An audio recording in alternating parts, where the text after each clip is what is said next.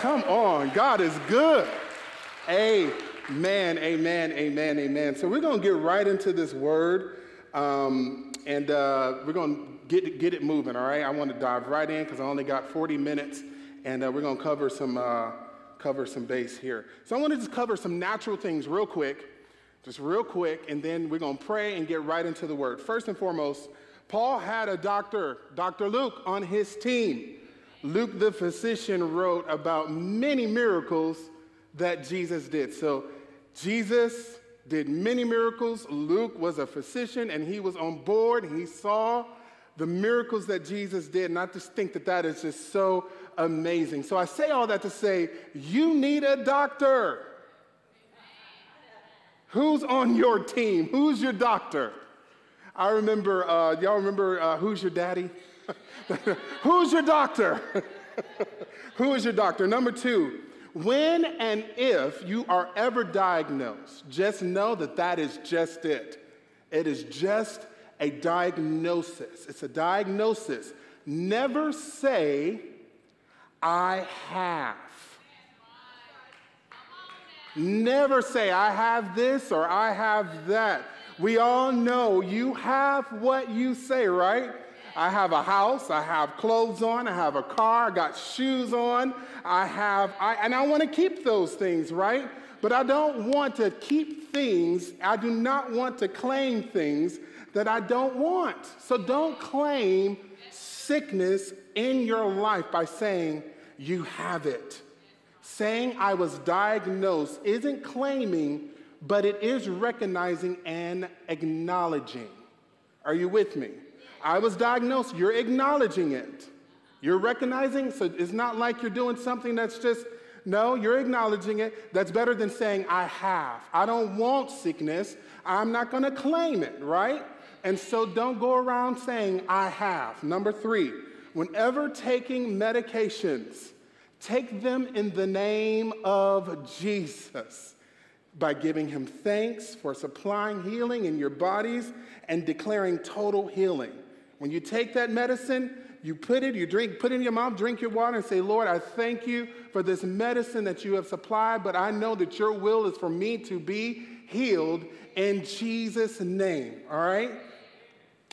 Kenneth, Kenneth W. Hagin once said, it's, it's this great, I love this. Um, he said that the natural and the spiritual, you guys have heard this before, works together, right? And makes an explosive force for God. Now, let me cover a few things here, um, biblical things here. In the Old Testament, now, you guys follow me um, as best as you can. In the Old Testament, Adam and Eve disobeyed, they sinned, and sin caused the sickness to enter into the earth today. Sin causes sickness to enter into the earth today. Some sicknesses are self inflicted. We all know this, just covering some base. And some sicknesses come as a result of sins of the world, right? Exodus 15, 26. I'm reading the NIV version. It says, If you listen carefully to the voice of the Lord your God and do what is right in his eyes, if you pay attention to his commands and keep all of his decrees, I will not bring any of the diseases I brought on the Egyptians, for I am the Lord who heals you. Now, many of us get caught up on the fact that God said, I will not bring uh, sicknesses on you as I brought them on the Egyptians. Now, listen, many of us have been reprimanded by our parents. How many have you got, had parents or guardians that they uh, reprimanded you for doing wrong, right? Whether it was your parent or legal guardians, they would either take something away from you or they will give you a good old fashioned whooping, right? Listen, my mom was very quick with those hands, right? And so, although we got whooped, you know, I, you, I would get whooped, all my brothers, sisters, we would get whooped. Um, they would always tell me where I went wrong and communicated that they didn't want to whip me, that it wasn't their will, and that they were going to do, they were doing this because they loved me and they wanted to correct my wrongdoings. And then the pain began, right? So in the Old Testament, yes, God would reprimand, I'm, this is just keeping it real, this is in the Bible. In the Old Testament, God would reprimand disobedience with sickness. Honestly, how else would he reprimand them by saying, uh, You wrong, you did wrong. Sometimes that ain't enough. I needed a whooping sometimes, right? So in that time, yeah, he would reprimand them with sicknesses. That was this way of correcting their wrongdoings. Listen, there had to be consequences and repercussions for the sin in that time.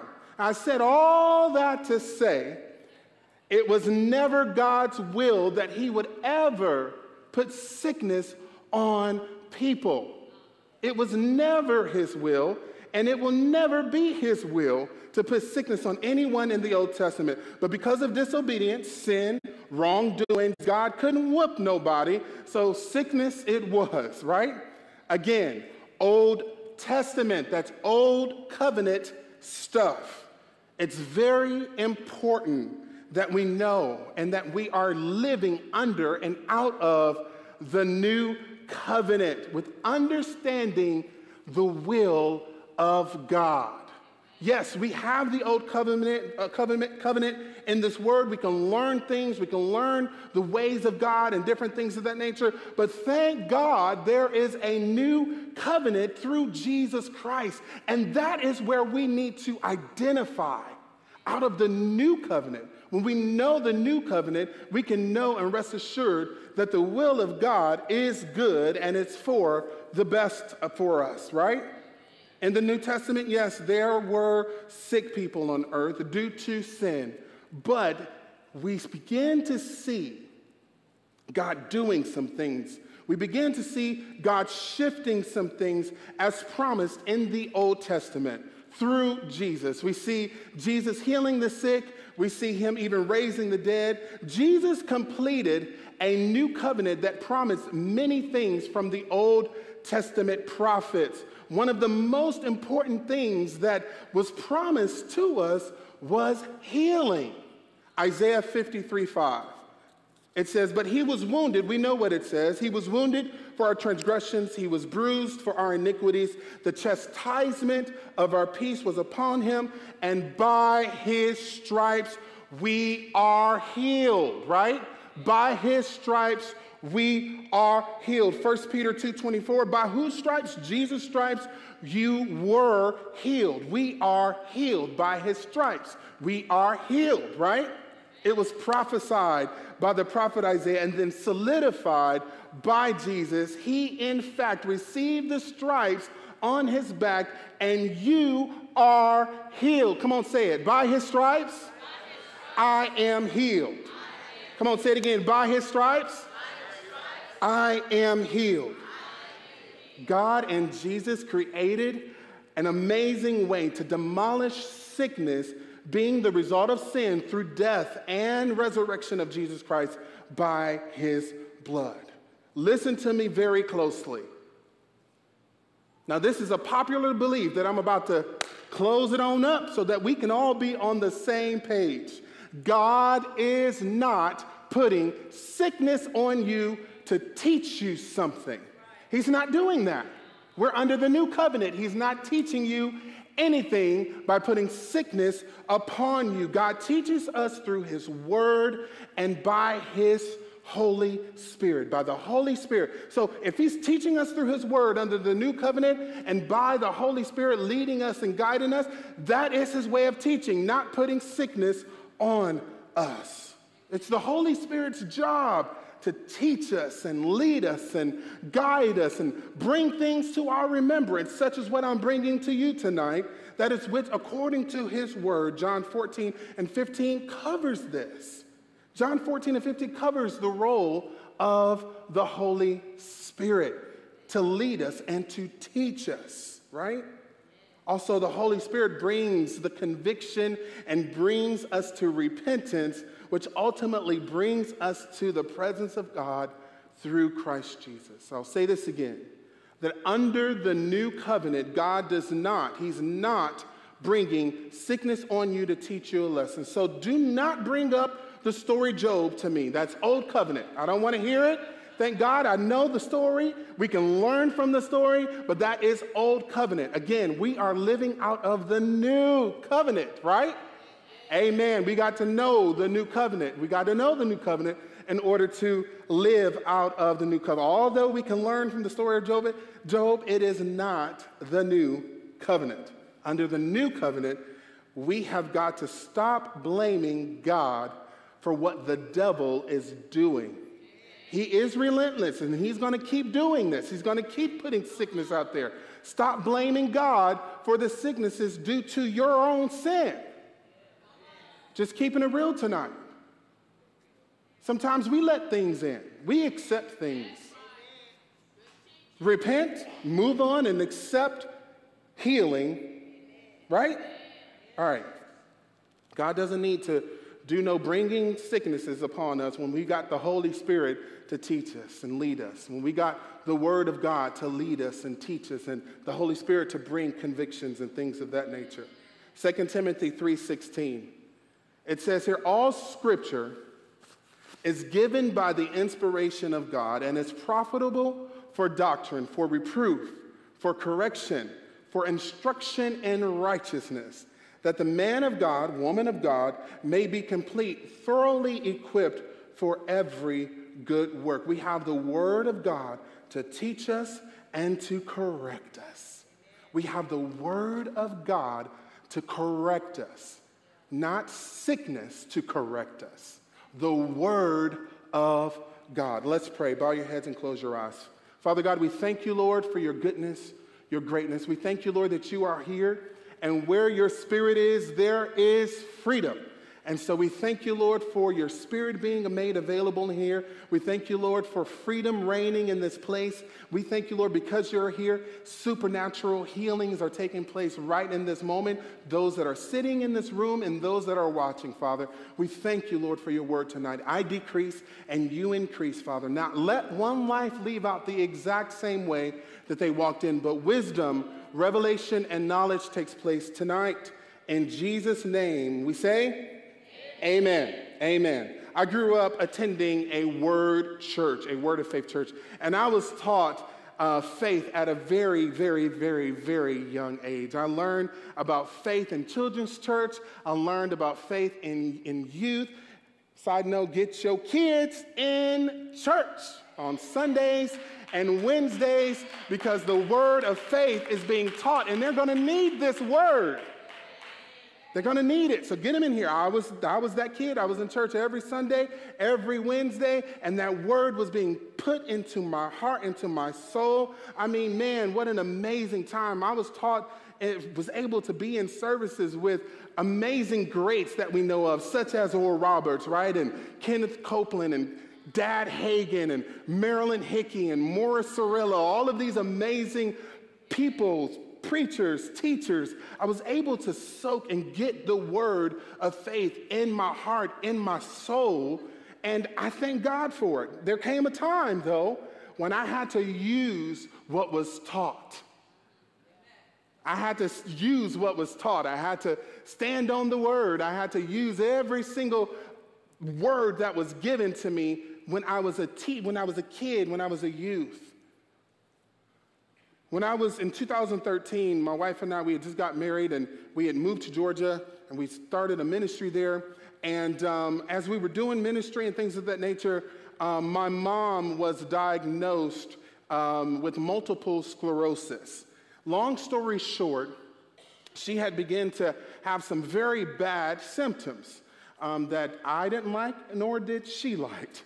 I encouraged my mom um, as she had moments of faith, and then sometimes there were moments of just accepting it. I remember having phone conversations of us, you know, she's trying to figure out how to live with this thing. There was moments of strength, and then there was moments of weakness. There was just weakness, you know? And um, that's normal. That sometimes happen. We're going to just keep it real in here tonight. But you got to be able to bounce back, and it's so important to have community and people around you that's going to get you back on track in those moments, right?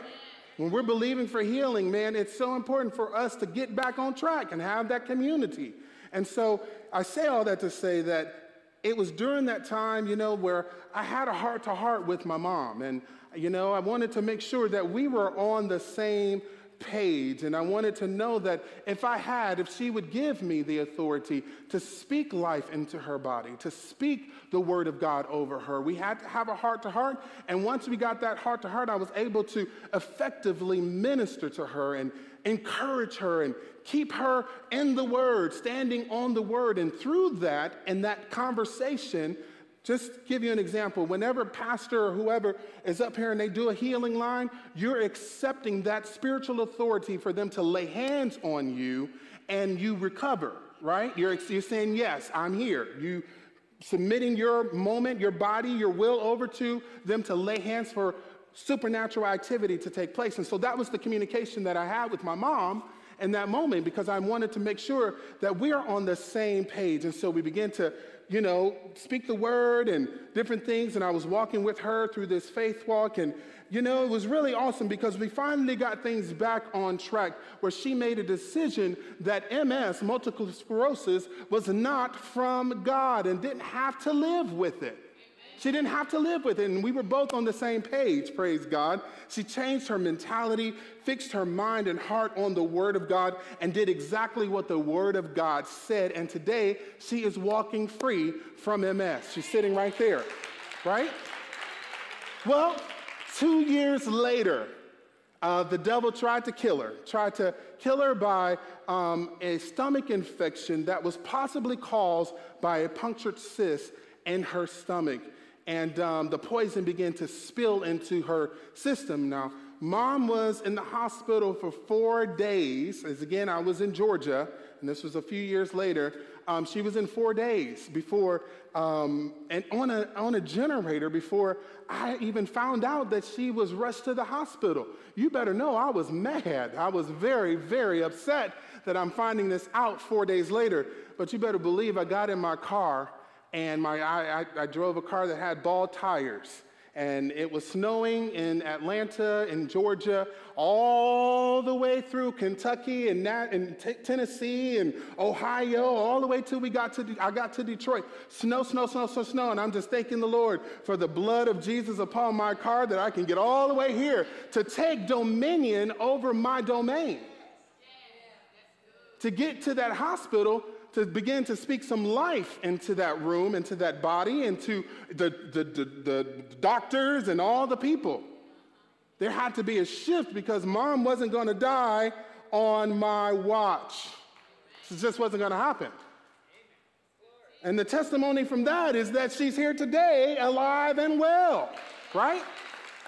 Listen, when you know that heaven lives on the inside of you, that God, the Holy Spirit, Jesus, have made an abode on the inside of you, when you know that the power of God is within you and that you can use that power at any moment, at any time to speak against the sickness, when you know that you can plead the blood of Jesus, come on, somebody, when you know that life is in your words and you have the ability to speak life, when you know that you can use the name of Jesus against any arrow the devil may try to throw, when you know that it is God's will to heal, miracles, signs, and wonders can take place. But you got to know it. You got to know that it's God's will for you to be healed. You got to know that it's God's will when you pray for someone, that it's God's will for them to be healed, for them to be delivered, for them to be set free.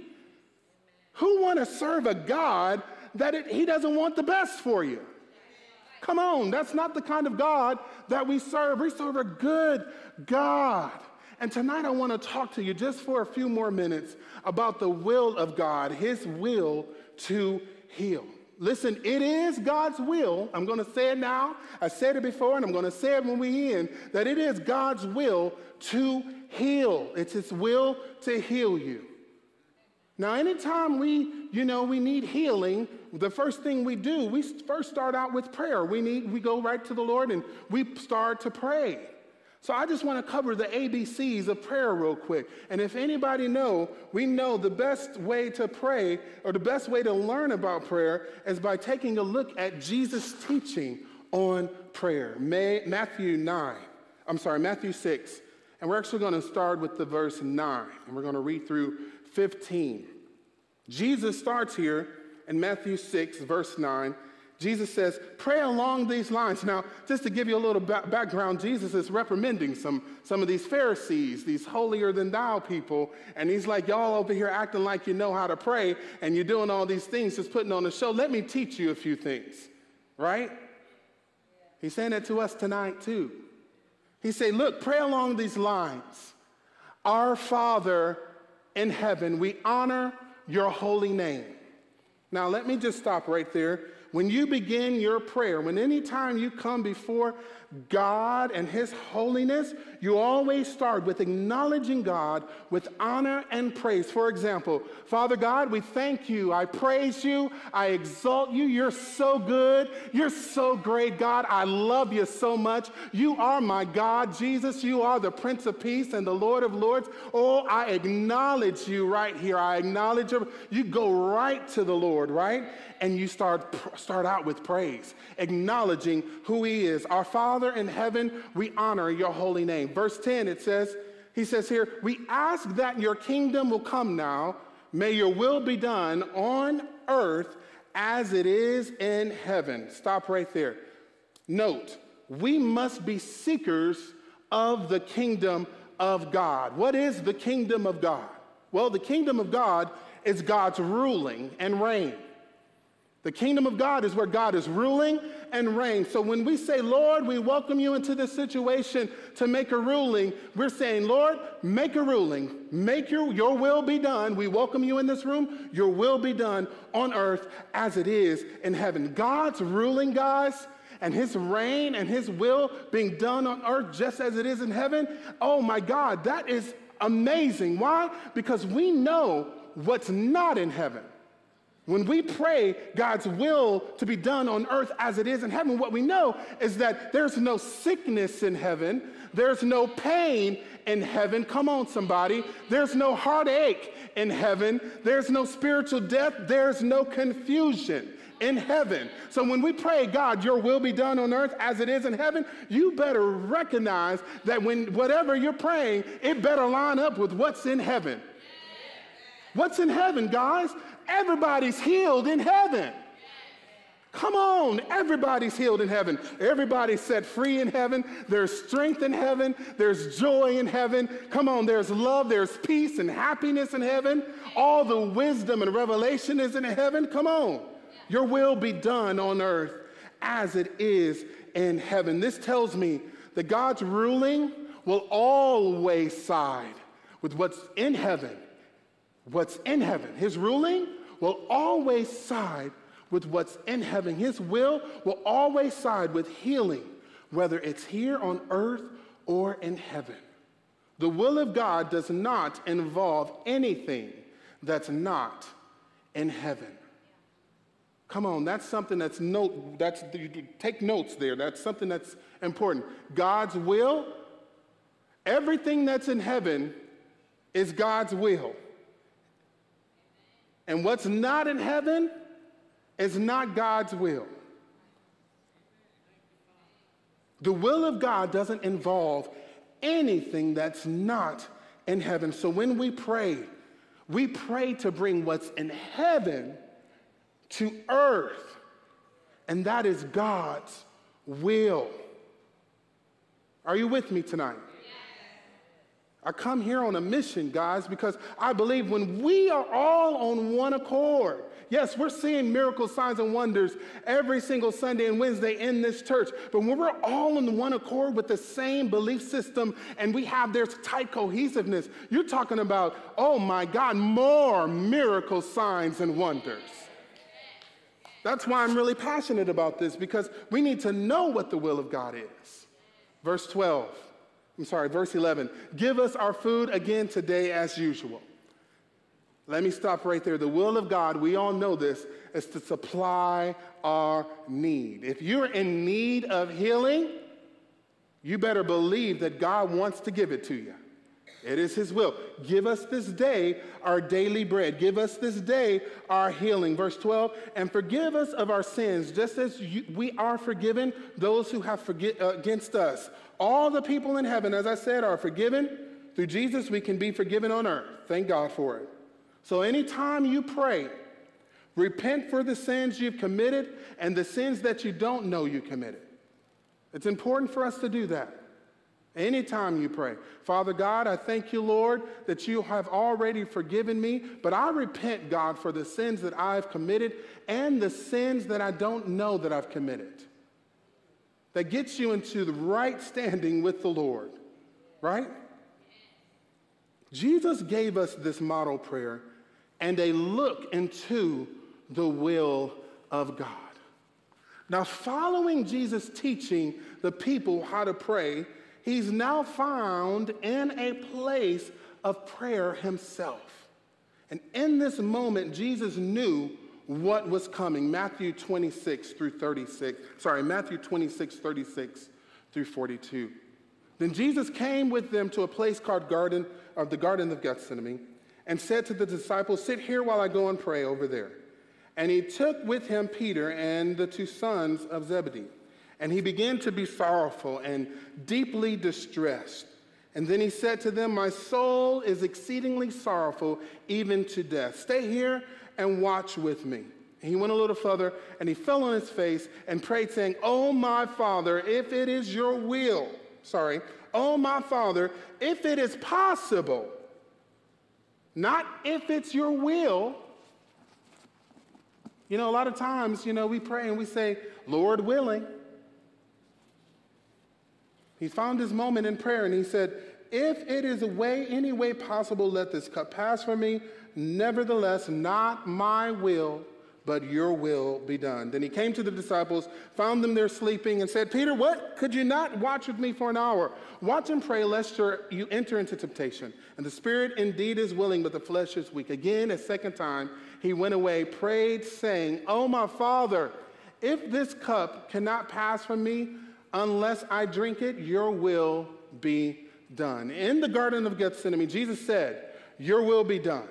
And he followed the prayer example he gave to us. When he said, Let this cup pass from me, he then followed up with, Your will be done. And I believe when he said that, listen to me, when he said that, Your will, not my will, but your will be done, I believe that he had your kingdom come to earth as it is in heaven.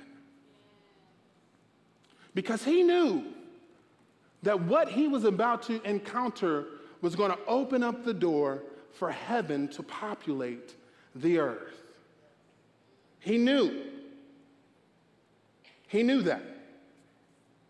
Well, then you guys may be thinking, well, the Bible says in Isaiah 53 that it pleased God to bruise Jesus. So that means that God's get pleasure, God get pleasure out of our iniquities. No, you are not Jesus. Don't try to don't try to make this out that it's okay for you to be that God is getting pleasure out of your sicknesses and your diseases and iniquity. No, no, no. You're not Jesus. Stop acting. Don't do that. No, no, no. It was done once and for all the chastisement, the bruising, the beating, it was done once and for all. You don't need to get bruised and beat in sickness to be put on your life, for to be taught anything or to please God. Stop that belief right now. Jesus understood the assignment. He knew that he was the source of God's will being done on earth as it is in heaven. But let me point something out to you real quick. Jesus said, Not my will, but your will be done. The Word of God says that God is love. And to show your love to God, you simply obey Him. When you love God, you obey Him. And the will of God is God's plan and it's His purpose. The will of God is God's plan and His purpose. And when we say, Lord, your will be done on earth as it is in heaven. Know that everything in heaven is under his ruling, which means everything in heaven is under his obedience, it's in obedience. You want the will of God for your life, you obey him. You want healing, obey him.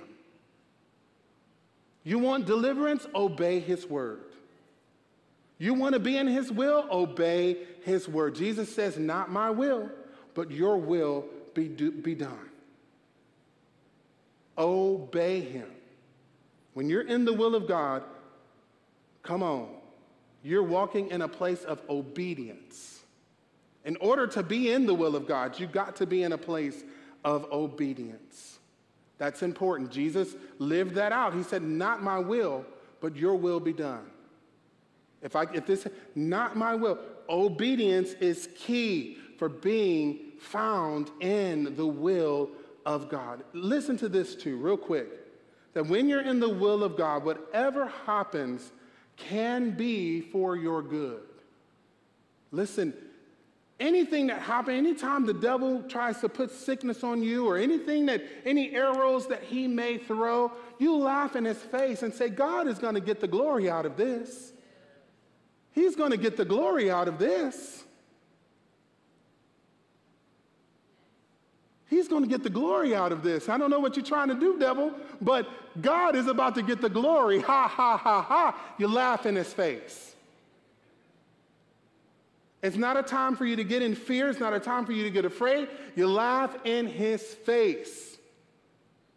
And watch God turn it around for your good, but obey him. Now, here's the truth. Here's something that I want to just throw in real quick. As a Christian, you are also now, as Jesus is the source of heaven on earth, you are also now a source of God's rule and reign and will being done on this earth. God is living on the inside of you. John 14, 15, Jesus, they have made their home on the inside of you. It's about time for us to begin to act like it. Come on. And be the source of heaven on earth. I've said, I say this all the time that my teacher in Bible school said that God has been working with people from, him, from the very beginning, from, his, from the beginning of his career. He's been working with people, and it's nothing has changed there. He wants to work through you. I want to say this as well, real quick. When you're asking the Lord for healing, when you're asking God for anything, be sure that you keep in your heart and in your mind that God, I want to do your will. I want to do your will on this earth. Heal me so I can continue to love people. Heal me, Lord. So thank you for your healing, God. I can continue to love people. I can continue, God, with healing flowing through my body. I can continue to love people. When you keep God's purpose in your mind ahead of you, you better be glad God can get behind. But if it's all about heal me because I feel sad, I feel bad, I feel disgusted, oh, I don't like this feeling, or I don't, I get all that, that's great. But when you have the mind that God, I want to be healed for your glory to be used by you, God, I claim I am healed. I'm going to walk, and then you begin to act on it. I love the, the, our pastor, man, because he was diagnosed and he still came here to preach the word of God to us. When you have that mentality that I'm not going to be stopped by what the devil is trying to do, when you have people on your mind and in your heart and that the will of God and his purpose, man, you better believe God is going to back it up. Don't pray with selfishness mentality. He doesn't back that up. He's not down with that. When we pray, we must have on earth as it is in heaven in our hearts and our minds. And it must come out of our mouths. Why? Because we belong to Christ. Ephesians 1 3. It says, How we praise God the Father, our Lord Jesus Christ who has blessed us with every blessing in heaven. Come on. Who has blessed us with every blessing in heaven because we belong to Christ. Whatever is in heaven is ours because we belong to Christ. The Bible says in 1 Corinthians 6:20 that you were bought with a price, therefore glorify God in your body and your mind. And so which are God's? You are children of God You are in, you belong to Christ, you're in the family, and whatever is in heaven, whatever inheritance there is, it is yours. This is what the Bible says. Oh, I love it because it backs it up. Mark 11, 24. We know it. Pastor's been saying it for the past two months. Listen to me. You can pray for anything. And if you believe, you have it. It's yours. Jesus said that. So when you pray according to what's in heaven, you belong to Christ. The blessing is yours, healing is yours. Just as Jesus knew the big picture, not my will, but your will be done, you got to know the big picture as well. You got to know the big picture as well. Yes, God is God, and He can do whatever He wants to do. He also honors His covenant with His creation, which means His will on earth is connected to our faith in Him and our obedience to Him. I love what Pastor said last week. He said, You can't separate your faith life from your obedience life. That's good. I encourage you to go listen to that message because he keeps saying, he said some other things right after that that's really good. Side note before we end here. The very next scripture um, in Matthew, it talks about, he says to forgive. Sorry, in Mark 11 23, um, sorry, 24, 25, he talks about forgiveness. He says, Well, forgive so that you can get what is in heaven. That's what he's saying to you tonight. There's some, uh, there might be someone in here that's dealing with forgiveness, unforgiveness. And God is saying to you tonight, forgive that person so the windows of heaven can open up to you. Forgive.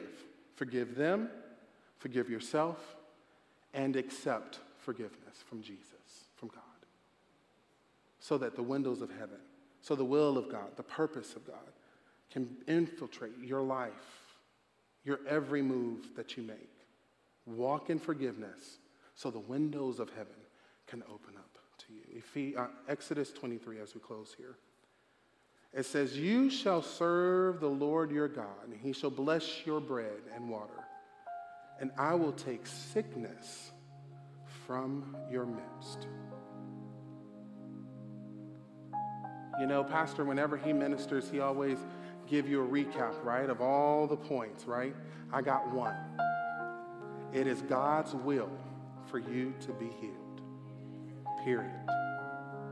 Everybody stand up. Bow your heads and close your eyes. Father God, I thank you, Lord, for your goodness. I thank you, Lord, for your grace, Father. I thank you, Lord, that you're in this room, Father. Thank you for telling us tonight that you want us healed, that you want us delivered, that you want us set free, that it is your will that we are healed. Thank you, God. Thank you for making it available to us through Jesus Christ, the blood of Jesus that was shed on the cross. Thank you, Lord. Thank you. Thank you for opening up the windows of heaven upon us. Thank you that you've given us heaven on earth, that we can have heaven on earth. Thank you, God. Thank you, Lord, that we can have joy and that we can have love and peace and happiness, Lord. Thank you that whatever is in heaven, we can have right now. So we claim that right now. Whatever is in heaven, God, I thank you for it. I claim it, it's mine in Jesus' name. I thank you, Father, that you're in the midst. Father God, and that your will is done in this room right now, that you're bringing clarity and healing right now in Jesus' name. We thank you for it right now. Father God, we thank you, Father, for the pastors that you have given us Pastor Joe, Pastor Misty, the whole First Family, Reverend Judy. We thank you, God, that you've given us such magnificent pastors, pastors that lead by faith. And we thank you, Lord, that with long life you will satisfy them With long life, you will satisfy them. Lord Jesus, you said that you come to give life and life more abundantly. So we thank you, God, that you've given Pastor Jill life and life more abundantly. We thank you, God, for the doctors that performed this surgery, Lord. We thank you, Lord, that you were in the midst of them in that room, that you were using them and working with them. God, I just thank you, Lord, for an amazing surgery that went forth. I thank you, Lord, that from this moment forward, Father God, recovery, supernatural recovery is being made available for Pastor right now in Jesus' name. Any kind of thing that tries to come up, we come against you, Satan. You are defeated. We plead the blood of Jesus against you. You will not have the last say. God will have the last say, and He has already said, Pastor is healed in Jesus' name. And so we thank you, Lord, for speedy recovery we thank you, God, that your hand is upon them and that your word is working mightily in Pastor's body right now, Father God. We thank you, Lord, that your word is working things out. Every single thing that in his body is lining up according to your word. And God, I thank you right now that there will be nothing lost in Jesus' name nothing lost from what the devil has tried to put on him. There will be no, uh, no side effects in Jesus' name. Everything will just line up and be right in place the way that you have ordained it to be. Now, we put our expectations on you, and we believe and we expect that your will is done in the body of our pastor right now in Jesus' name. We thank you, Lord, for Pastor Misty, the strength upon her life as she cares for Pastor in this moment, and the leading of the Holy Spirit, Father. I thank you, Lord, that she is led by your Spirit in this season, Father God, to walk with Pastor in this moment, Father. I thank you, Lord, for strength over her. We pray strength over her right now, strength in her body. She's healed from the top of her head to the soles of her feet, no weapon formed against her shall prosper. In Jesus' name, we thank you, Lord. We thank you. Come on, let's lift our hands before the Lord. Oh, we thank you. We praise you. We honor you. We give you all the glory, Father. Oh, we give you all of the honor, Father God. We give you all of the praise. And we say that it is done in Jesus' name. In Jesus' name. Everybody said, Amen. Come on, everybody say amen.